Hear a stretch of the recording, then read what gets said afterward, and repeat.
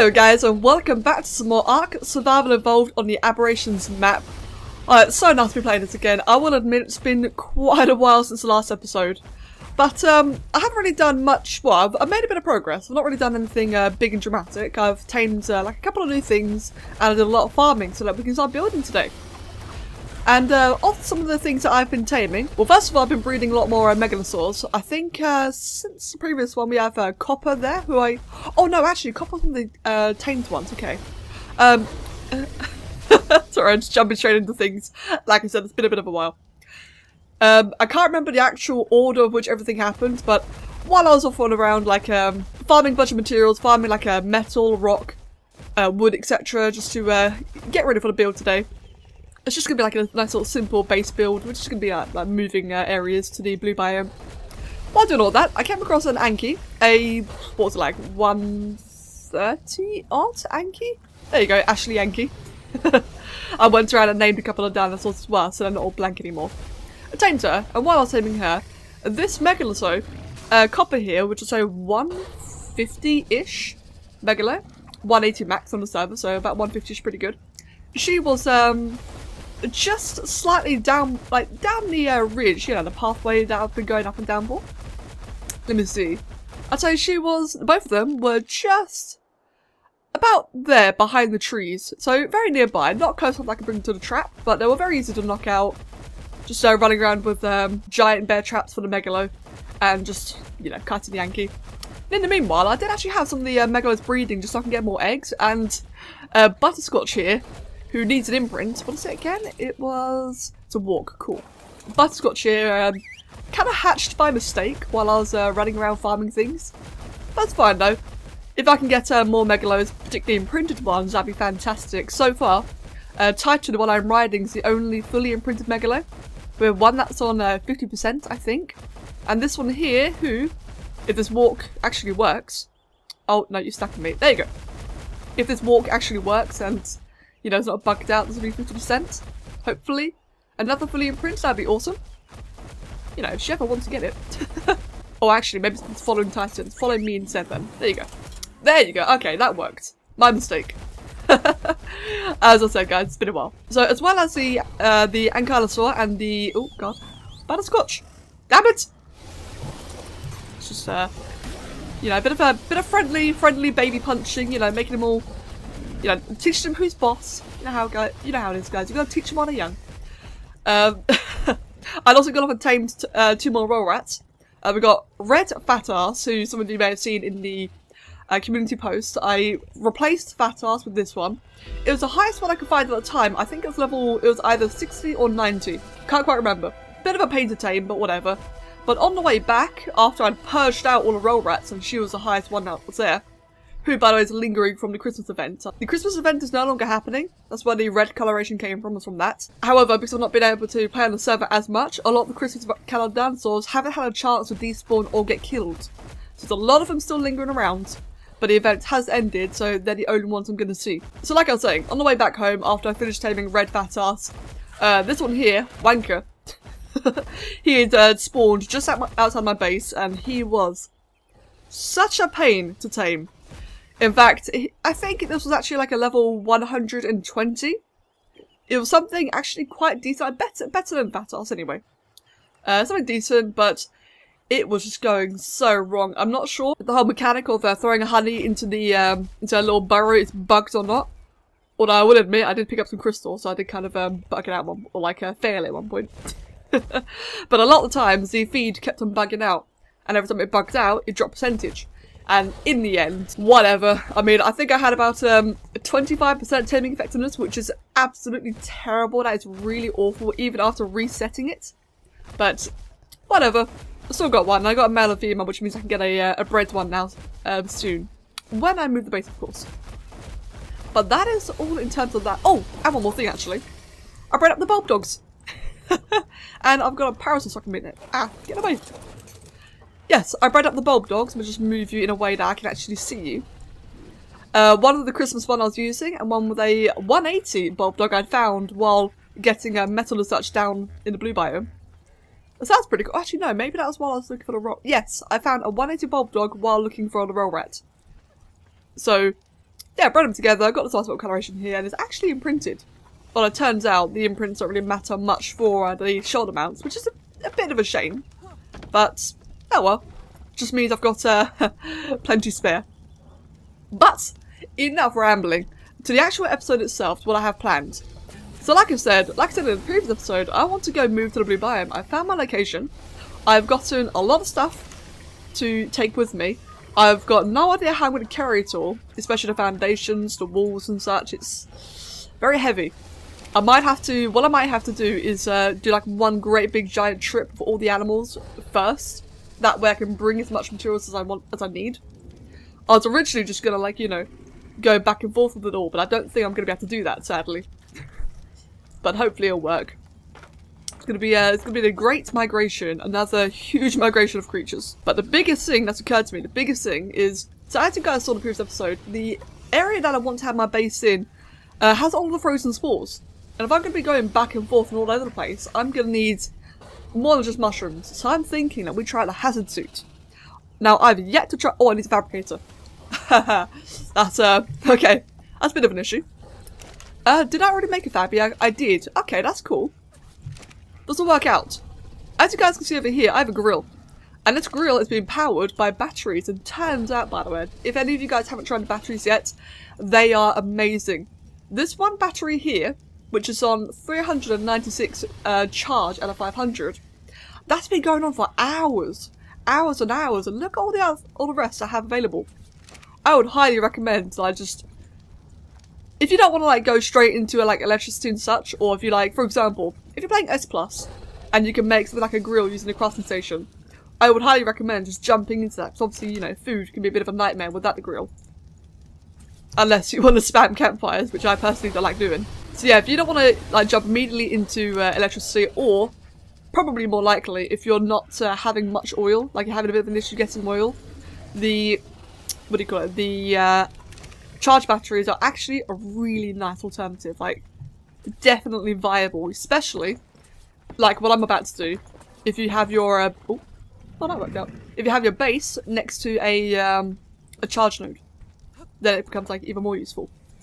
Now this is only temporary, I'm only putting this here just for the purpose of having, um, of making a hazmat suit.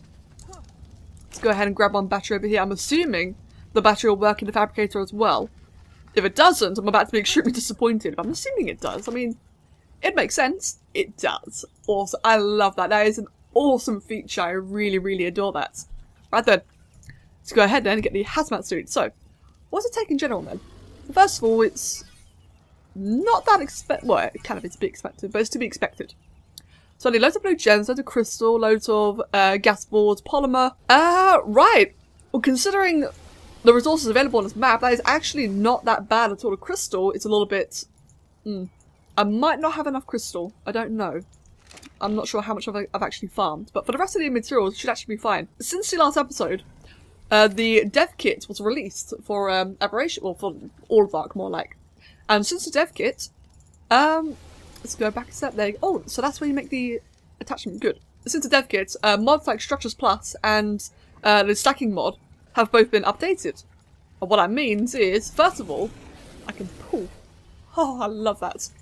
I can uh, like pull like the gems, the um, the gems, the gas balls and such, all the other stuff. I can pull it into it. Go ahead and just make all of them. But on top of that, things like the gas collector uh, they're no longer going to get full really, really quickly. They're going to stack the balls up to 5,000 and there's 20 slots, 20 potential slots.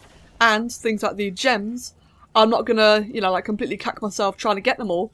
I can actually harvest as much as I want, like a decent amount, and not get horribly encumbered. So yes, absolutely amazing quality of life. I'm so happy about that. Uh, let's go ahead and get the... Where's my demo gun? There it is.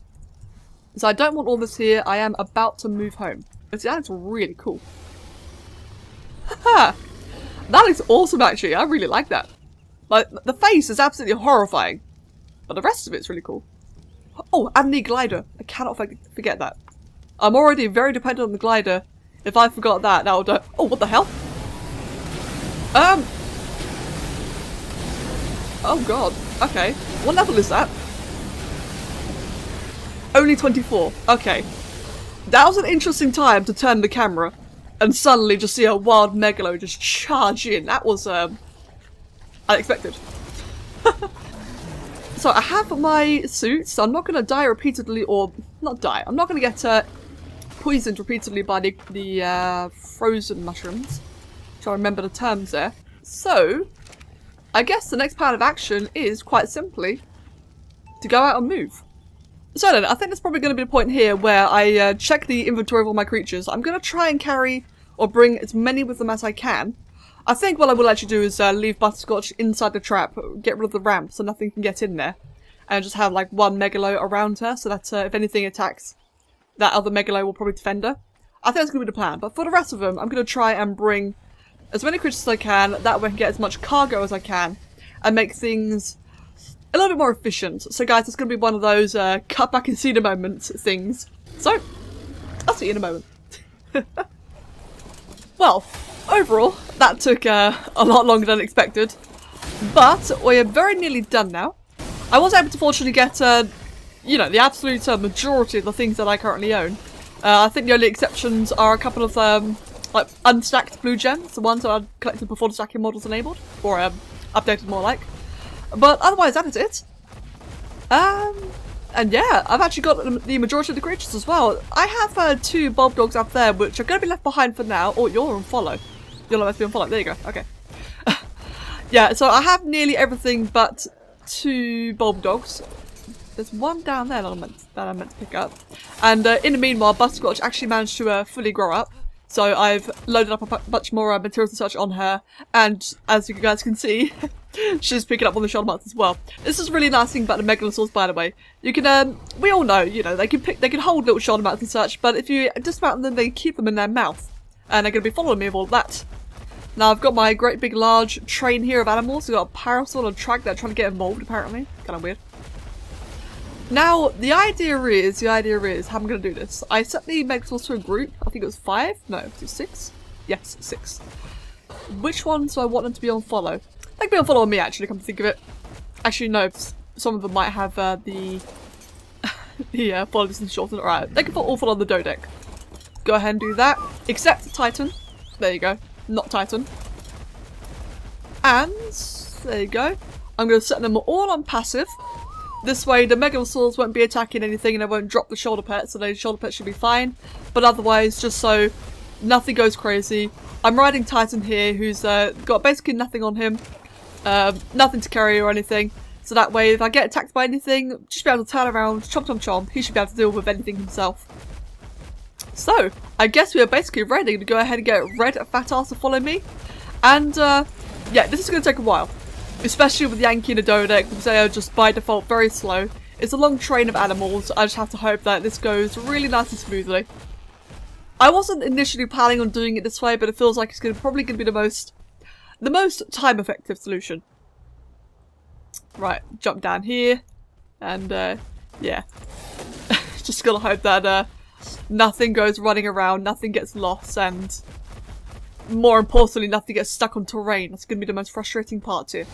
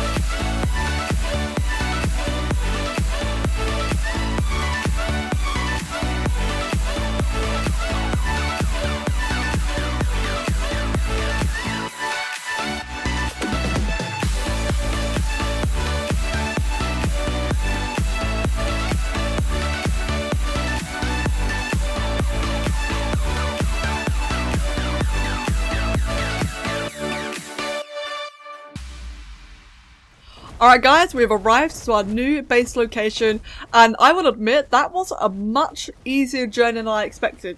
It definitely took a while, especially with the Anki and the Dodec being um, extremely slow. But yeah, that went a lot better than I expected. I, I, as far as I'm aware, or as far as I can see, nothing uh, got lost or anything. I mean, I'll figure out quite quickly when I get the death messages if I did lose anything. But uh, otherwise, yeah, we have made it home. I don't know why I put up on the and dropping back on the floor. So, now the next question, the next uh, big and obvious question is, where am I actually going to build my area? I was thinking in this area here, uh, this seems like a very nice tucked away corner, or at least for the temporary base. But then I noticed that over here there are some, like, legit metal veins, and as we discovered earlier on in this uh, series, this metal vein actually produces a lot of freaking metal. So I really don't want to obstruct it. I mean, sure, I've got all these smaller veins around here, which are substantial. But, yeah, man, these things are a real deal. I do not want to cover those. And uh, also, I didn't actually realise all these little ferns here, like this, uh, well, I say little, that's quite big. this uh, fern here, uh, sorry, Titan, I didn't realise these are all trees. So we actually have a much uh, higher wood supply than I initially thought, which again is freaking awesome. Now, in terms of uh, base location, so what I would like to do for the long term, for my, you know, like my, my blue biome base, is I would like to like incorporate all of this here into something, and then have the, uh, what do you call it, the, the plant species, which is somewhere around here. There you go. The plant species over here, I was going to have my uh, base, or sorry, my uh, stables around, or maybe just like a little corner area where I can bring the animals to to heal. That was the plan for that. Uh, so there's not really much real estate over around here either. I mean, I could make it like a centerpiece out of rock. but I'm not really feeling that. And I wanted to incorporate the charge node in something big. Like, I suppose I could probably like make an area here, like straight up in the middle. Don't know just yet. But I do see this over here, a little platform up here particularly. Like, what, what is here? I can't get here on a megalosaur, can I? No, not without a ramp. Alright. But that could be like another potential tucked away area. Plus there's the entire ledge up there which I've yet to see. Last time I was here there's a rock drake up there so I'm not really too keen on fi finding out what's here. Is that a blue drop? Oh! Well isn't that handy? I'll, I'll do that 30. Wow, okay, that's really handy. I did not know there's a drop here. Oh. Too bad it's nothing good. But that is good to know. There's one here. I know another blue drop, uh, sorry, another another drop in general can spawn over there. Now there's like a couple more dotted here and there around, probably one up on that ledge, I wouldn't be surprised. Base of operation where I can begin doing things, where do I want it? I think it probably will be around here actually. I mean, it's not really going to cover any of the more important things. Apparently, there's evidently a lot of freaking trees here. There's uh, crystals and gems skirting, and metal, sorry. There's uh, crystal, gems and metal skirting the entire outer rim of this area. Which is quite nice actually, it kind of uh, creates like a natural barrier I would have to fill in like the gaps, like here for instance. But a nice natural barrier. Otherwise, yeah, I think this area here is going to be like the most, um, the most open area, the largest size, they'll obstruct as little, you know, resources possible. Especially the metal nodes. Okay, good. I found my water. I put everything away. To go ahead and get this uh, stone cliff platform as well. I'm not sure if I'll be using this just yet. Um, I don't really have much, much of a use, but I have it available if I need it. And before we do anything, what I will do is myself a bit of a favour and just plop down some gas collectors. Uh, I was able to make two more while looking for the roll rats, or while looking for a roll rat to tame. I was um, running around collecting whatever they dropped down. I fortunately managed to get a couple of red gems. Plus I picked up the first one that we originally put down before. So we now have these. It's going to produce a tremendous amount of um, gas balls. One, two, and three. Uh, I'll be covering all of them over time when I can. Cool, good stuff, good stuff. And then the actual building itself. So, what are we gonna have? Uh, it needs to be... Get out my way! Go away! Right in my damn way! What level is it anyway? 102. God damn! Uh, what is that? Is that anything useful? No, cool. Okay. So first things first is obviously gonna want some foundations. Probably won't need that many. Uh, gonna want a couple of walls. Uh, a couple of windows. I do like using windows a lot. Move that pick over there. Actually, I don't need to do that. Um, where's the doorways? There we go. Doorways and doors. Right. So that's all the basics. We'll go ahead then and just plop that here. This really is meant to be like the most temporary base. That way I can settle down, make things, have all my resources together, be in an area, you know, that's uh, covered in resources and, you know, uh, valuable materials. And start taking my time and, you know, like getting all this stuff together to actually make the base, make the proper base. Okay, one more over here. Gonna have like a bit of a, a long thing going on here. That should be all I need from now. Get two door frames. One, uh, how do I want the door frames? Probably just like one over there and one over uh, here. Not really anything particularly special, just, you know, good enough right now. Um, I'm not really going to need any windows behind me. So I'll just go ahead and, yeah, just plop them all like here. I mean, why not? Like I said, I like being able to see what's going on. Cool. The two doorways there, so I have one there. Come to think it, I probably do want a door in the back. oh well. And I have another line up here. That way I can, you know, have a lot of room. Nothing's really clipping, it's not ugly. Like so. And I run out, so I'll go ahead and get some more. Over here. Put away, get some doors, get them there, get some walls, and we'll get some ceilings. And I, oof, pretty encumbered, but I'm not going to be for long. Just gonna slowly tread my way over there. So guys, how's your day been? there we go, okay then. Do all of that. So this really should be like plenty of space just for all the basics, all the necessities, but with storage to spare as well. And obviously for the bulb dogs, or the uh, shoulder mounts. I'm getting quite a few of them. And I'll probably be breeding some as well, just so that way I've always got spares, or I can... I don't know, really, there's not really much purpose of breeding. I haven't actually checked to see yet if they get more level, uh, more stats per point. I should definitely have uh, compare that next time I level them. Cool, that is definitely good enough. And just for my own sanity, I do want to get two ramps because I really hate the way I have, like the uh, thing just falls off really quickly. Okay, now for actual things that are of use. Uh, so fabricator, converter station, feeding trough, that, that, that. Uh, don't need that just yet actually. Uh, recycling bin, that thing bob, that one. Lights, obviously, mortar and pestles. Uh, and yeah, uh, chairs. you need chairs, guys. I mean, they're, they're necessary. That's what I'm says. Ah, looks better.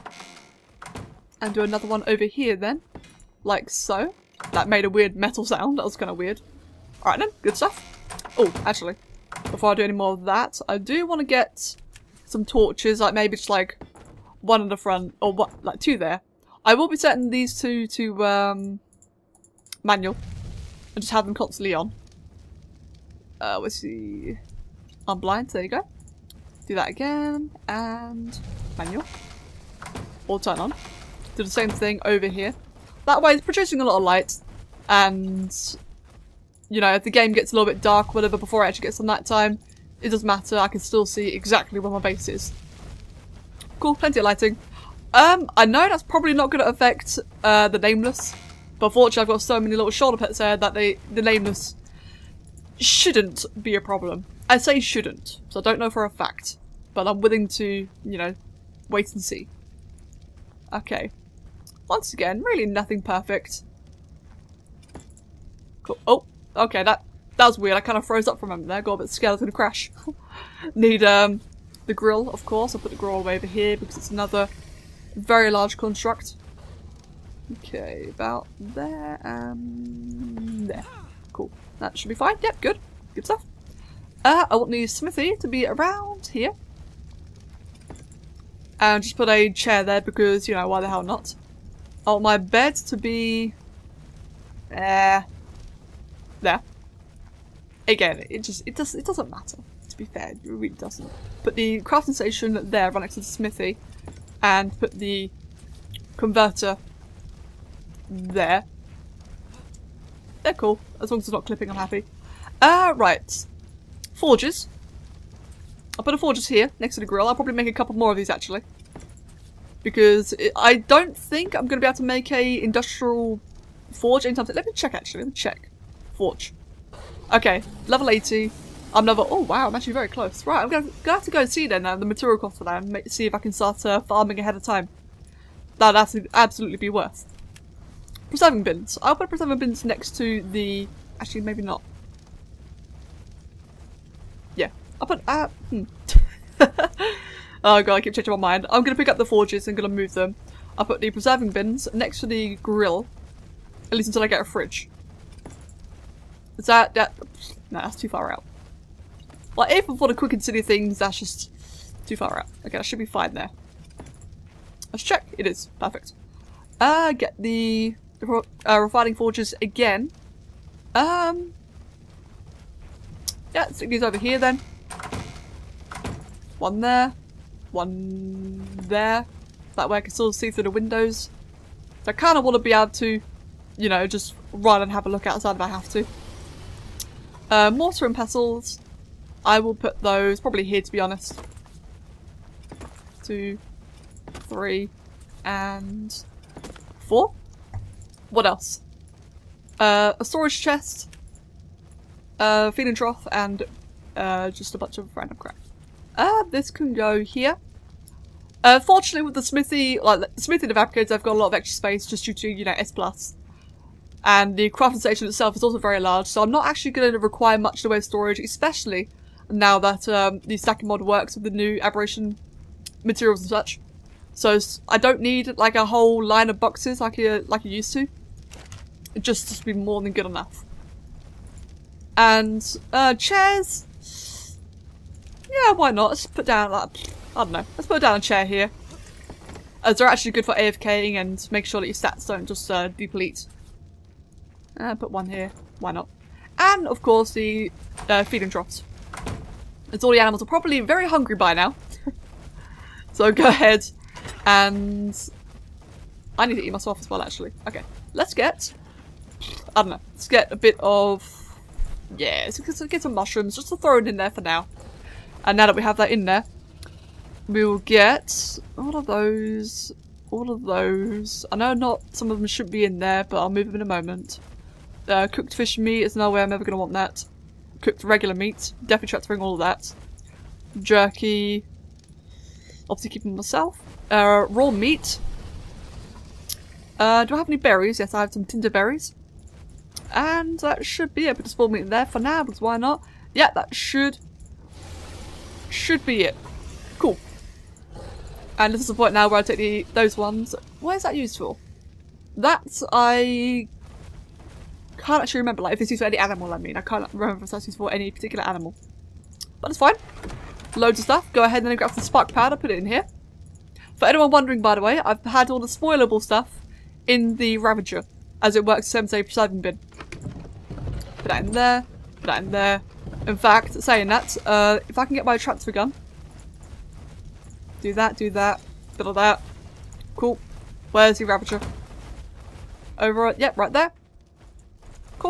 And I'm just going to go ahead and chuck it all in there. And uh, unequip it. There you go. Cool. Good stuff. Good stuff. Uh, do I have all the oil in here as well? That way I can carry on making... What's it called? Stuff. I know stuff is uh, not very useful, but I can't think of words right now. Just like that. I don't need the two preserving bins for now, actually, so I'm going to go ahead and just power the one. I can make it more efficient later on. I will, however, go ahead and get on the uh, raw mutton and prime. I just spotted. Okay, maybe not prime um, mutton, but yeah, prime. No, I thought we had some. No, no, it was probably all in the Ravager. That makes sense. Okay. Okay. Uh, spawned meat. Yep, cool. Cool. That should be all of that then. That looks like all that. Yep, okay. Oh, actually, I need uh, cooked meat in there. So we'll go ahead and grab one stack of a thousand, or five thousand more like. Chuck it all in there. Do I have the quick prime in there? I do. Cool. So now both both uh, variety of jerky are being made and produced. What the hell?